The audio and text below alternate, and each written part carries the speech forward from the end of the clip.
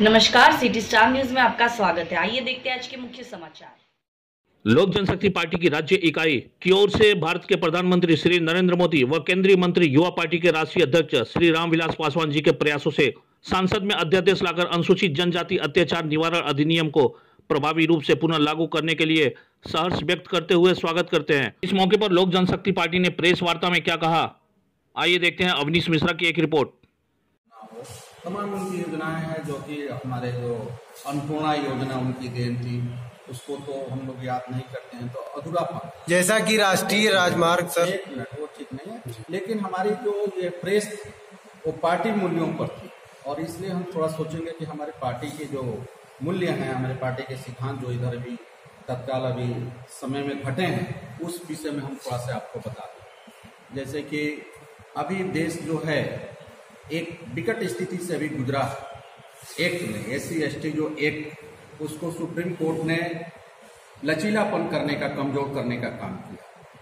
इससे पहले जो है अभी आप लोगों को जानकारी नहीं एस सी एक्ट का पैदाइश ही मुस्लिम दलित कमज़ोर वर्गों के लिए रक्षक कवच के रूप में इनका मजबूरी देखी माननीय रामविलास पासवान जी ने।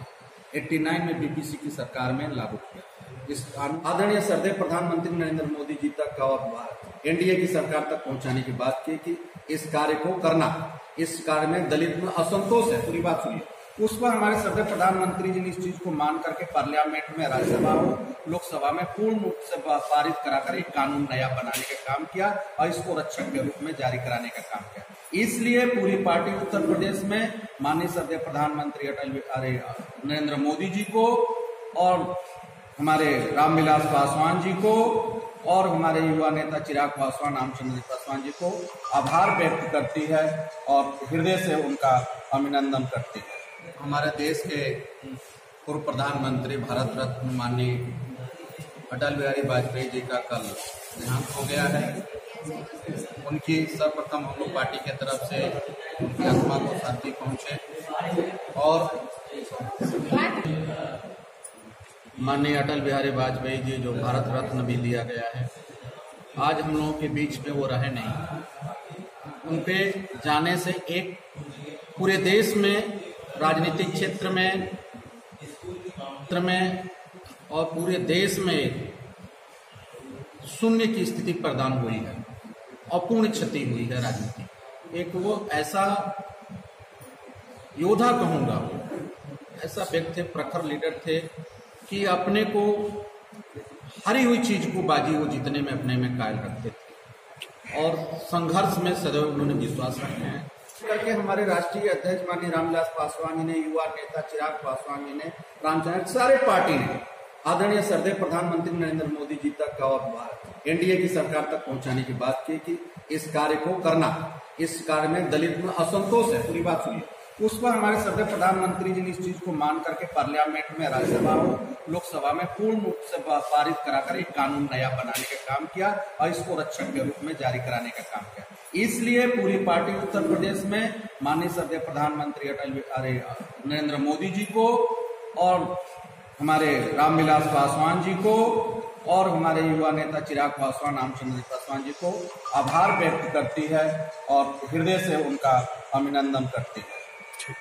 हमारे ललित नारायण चौधरी जी हैं जो पूर्वी क्षेत्र के प्रदेश अध्यक्ष हैं। मैं खुद को त्रिवेणी प्रसाद पाल हूँ प्रदेश मध्य के। हमारे बीच में बहन इधर ले लीजिए कमला कुमारी जी है राष्ट्रीय अध्यक्ष महिला प्रकोष्ठ के। उसके बीच में प्रतिभा है जो राष्ट्रीय सचिव है। हमारे हाजी अबराज जी संसदीय बोर्ड के अध्यक्ष हैं। ये हमारे अफरोज जी हैं। हमारे पीछे राव डिस्ट्रिक्ट प्रेसिडेंट युवा साथी है। हमारे गोपाल शर्मा जी हैं। जो संगठन मंत्री हैं अर्चना जी है हमारे डिस्ट्रिक्ट प्रेसिडेंट पदमा रावत है हमारे प्रदेश के महिला ये बताइए जी। हाँ? पेश क्या था हमारी जो है माननीय राष्ट्रीय अध्यक्ष जी लखनऊ में उनको संभावित तीस तारीख को आगमन है। वो आ रहे हैं लखनऊ में। उड़दार जो है जिसका स्वागत करेंगे और आभार प्रकट करेंगे इस चीज़ को। हम लोग देश के कोने कोने में जाकर बताने का कार्य करेंगे। कि जो इस एक्ट के में जो लचीलापन कहता है, इसको कानून का जमा जो है, हमारे राष्ट्रीय अध्यक्ष जी ने रामविलास पासवान जी के सहयोग से, आदरणीय नरेंद्र मोदी जी के सहयोग से हुआ है। जो करेगा, वो ज़रूर हम देश के प्रतिनिधि कहेंगे। इसमें तमाम इस देश में दलित, बैकवर्ड के हित ऐसी बनकर घूम रहे हैं। वो असली सरों पर नहीं है। आज हम उनके बीच में जाएँगे और बताएँगे कि दलित और बैकवर्डों का असली हितकारी जो है, आदरणीय रामविलास पासवान जी हैं। पिछड़ा वर्ग का भी संवैधानिक अधिकार देने का कार्य किया है। वो माननीय हमारे जो है नरेंद्र मोदी जी से पारित हुआ है जिसका स्वरूप हमारे